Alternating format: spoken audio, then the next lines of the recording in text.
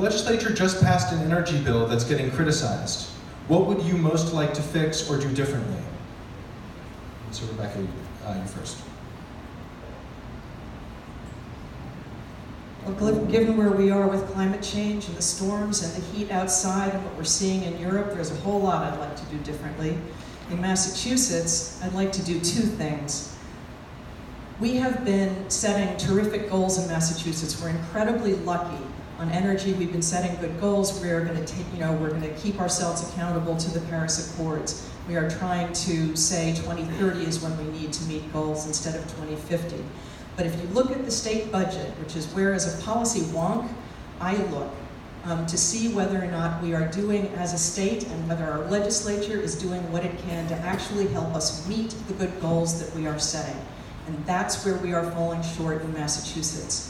We have been cutting for the last 10 years the Department of Environmental the Department of Conservation Resources, the Department of Environmental Protection, these are the offices that oversee our hazardous waste cleanups. We have 40 we have 40 Superfund sites in Massachusetts. We do not have the staff to take care of that or to provide the oversight.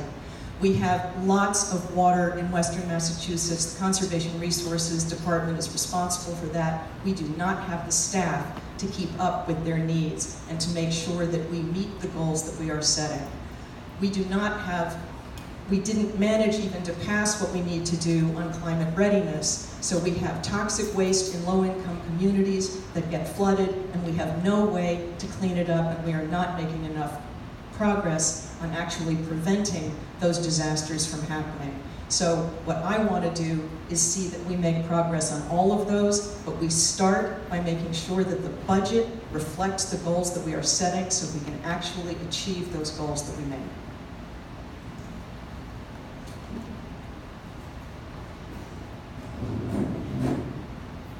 The question was about the energy bill, right?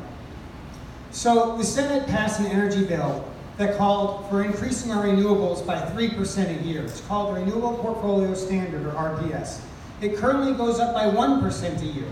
Unless you live in Brookline, in which case your renewables went up by 25% in a single year. That's because of a bill I wrote that we passed, and your electric bill may have gone up by a dollar or two in exchange for doubling the amount of renewables in your home or your business in Brookline. But again, the Senate bill said we're going to go from 1% to 3%. The House only brought it to 2%. And that's a mistake because the Global Warming Solutions Act, our friend Frank Smizik, I think, is in the back and he could tell you more about it. The Global Warming Solutions Act says we need an 80% reduction by 2050. And the Supreme Judicial Court said we have interim targets. 2020, 2030, and 2040 do have legally binding targets it's unlikely we'll make our 2020 target. The Senate bill would have helped. Not only would it have increased the amount of renewables we get every year by law, it would have also removed the solar cap. Currently, people want to put solar on their homes. We know it's cost effective. We know it reduces pollution, but the utilities have managed to get a rule in that says not too much because it might upset our profits. It's a big problem. The Senate bill fixed it. The House bill didn't.